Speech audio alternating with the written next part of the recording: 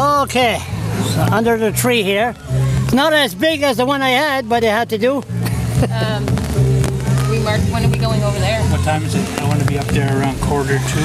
It's 20 to, 20 to 11. Yeah, we got to get up there in a minute. Is Okay, going to be fast, Charles? yeah, I'll be right fast. Okay, somebody from Memramcook talked to me on Facebook yesterday, and uh, what we want to talk about is he worked for Department of Transportation, and he has to travel all the way to Cap-Pelé now.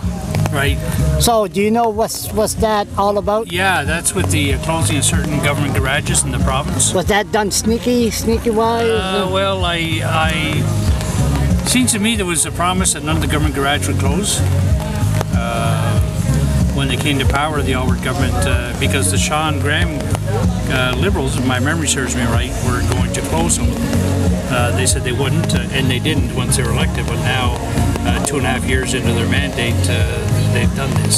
So they had this, it was a long ride from Memramcook to Cap-Pelé. Absolutely, yeah. So- it- it's not just Cook. This is happening all Yeah, over the yeah, I know, but uh, but this this uh, they don't they they used to, I think they used they a lot of them use government truck to travel there, but then they stopped it last week. They got to use their own time, their own gas. I know it's their own time, their own gas. As far as the practice of stopping government trucks, actually Joey Kelly, the treasurer of 1190, is here. Yeah. He could, he'd be right up on that file. So is this sneaky cuts or uh, is it all uh, Shawn Graham started this and then? Well, he, he was going to do it. It was uh, it was a big issue during the election, especially up in. Uh, I remember going to a rally in the uh, in the front of the government garage in Tracadie-Sheila. okay. and uh, the focus of the, uh, the the rally or the event that was just at the closure, proposed closure of the government garages, and there were a number of conservative candidates who were there, and if elected, we won't close them.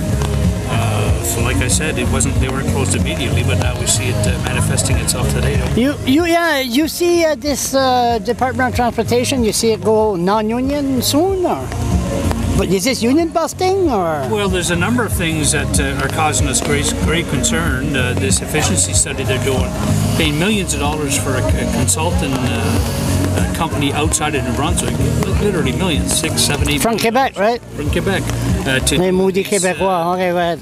Anyway, they're following our, our workers around, our members, and uh, you know, uh, asking them to go and uh, look at potholes, not fill the potholes, look at potholes. Well, that's not very effective, very efficient. So, you know, we, we've got concerns of some of the things that are going on in that department for sure, from uh, our members' perspective.